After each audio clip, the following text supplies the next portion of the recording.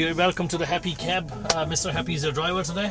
I'm a writer, Right. and I love the idea of storytelling in taxis because I think I think t- t- I think taxi drivers are the best storytellers right. in the world. One night we done for charity, myself and another guy, we done with the weather girls. We were dressed as weather girls. right, and the, the, the horrible part about it is I have a sister that looks very like me.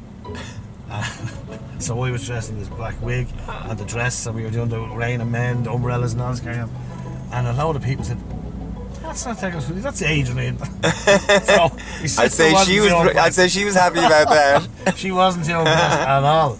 Because I'm not the smallest fella in the world, you know. But, um, and, and I look my like my sister when I'm dressed up. You have a girl with you, or No, no, I'm all alone. You're all alone, so nobody loves you. Nobody loves you. Let's me. give us a look at you. Oh, I can see why. Do you?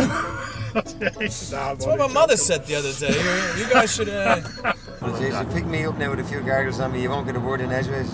Well, you see, that, that, that that's me as well. Like, but then again, you know, either way, when I'm sitting here or sitting in the back, you don't get a whole lot of words in edgeways anyway.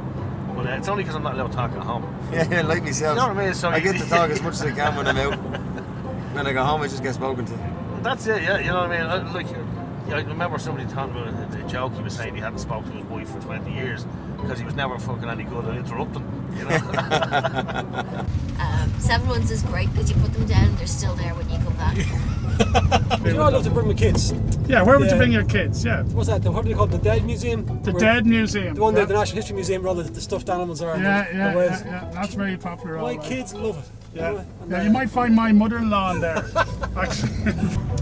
Well, you should get a horse and be, Oh, here, look. you'd help the uh, emissions and reduce. I, the I see horse everywhere anyways. That's why I, I call the people, have a horse. I know.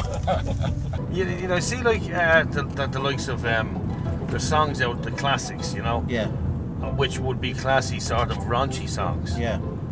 and they're they're the likes of you know like move over, babe, move over, you know, in the bed. and, and the Je t'aime type of songs are classy. Yeah. Or there might be a little French fella singing them, and he can make like a French fella, like and here I am nearly back to farts again. Even a Frenchman can make a fart sound sexy.